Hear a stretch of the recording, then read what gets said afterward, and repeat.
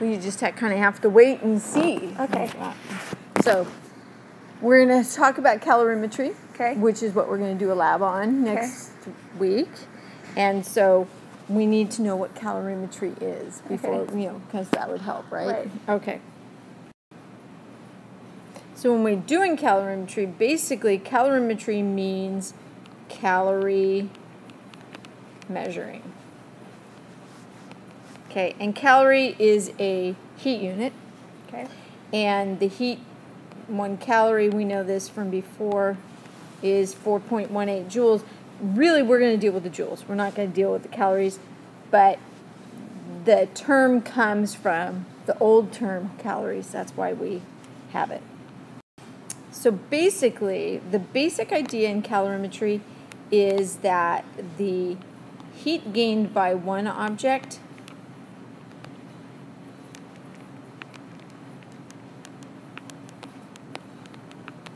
equals the heat lost by another.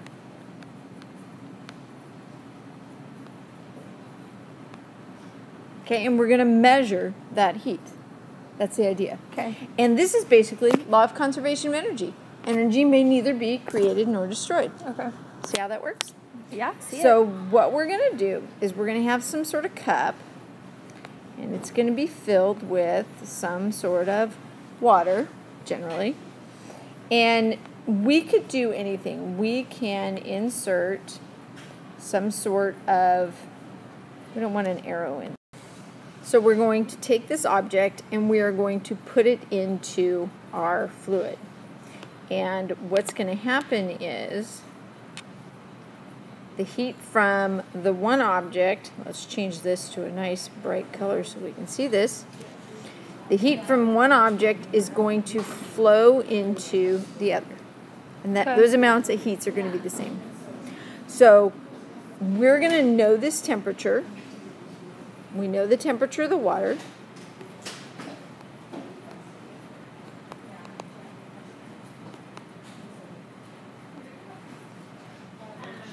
We also know the starting temperature of the object. Now, there's a couple things we could be doing. Okay? In chemistry, do you remember putting a little piece of metal into the water, the hot piece of metal into the water, and you measured its heat capacity, calculated its heat capacity? So that's one thing we could do, but you already did that. So what we're going to do is this little object that we stuck in here is going to be an ice cube, and we're going to melt the ice cube. Okay. Okay, so what's our ice cube going to do when we put it in the water? Melt. It's going to melt, right?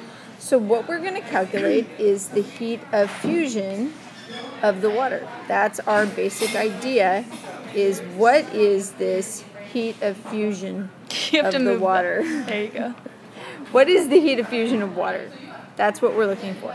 So, how are we going to find out how much heat the water gained?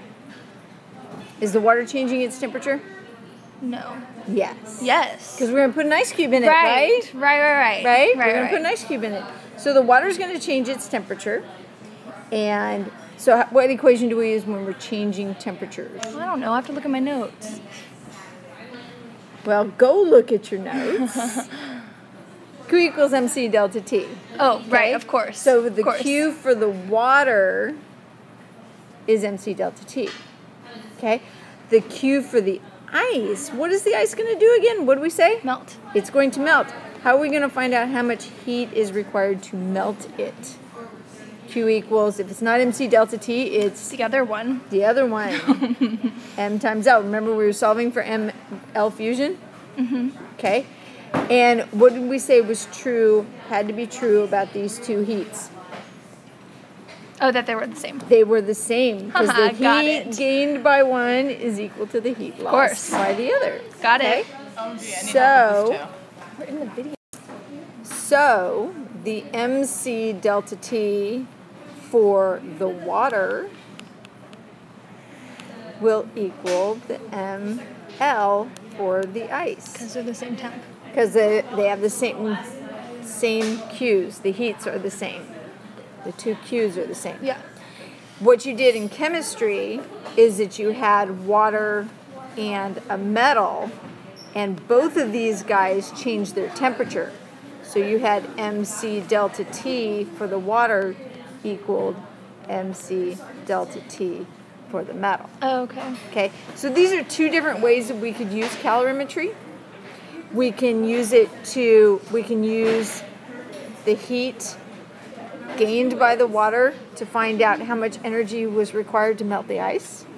Or we can use the heat gained or lost by the water to find out the heat gained by the metal. And either way, we can solve for our unknown variable, Okay. either C or L. Okay? Yeah. Good to go? Yeah. All right, so we are going to apply this in practice problems and then we're going to apply it in our lab. Okay, cool. All right, we'll see you later. Bye bye. Hmm.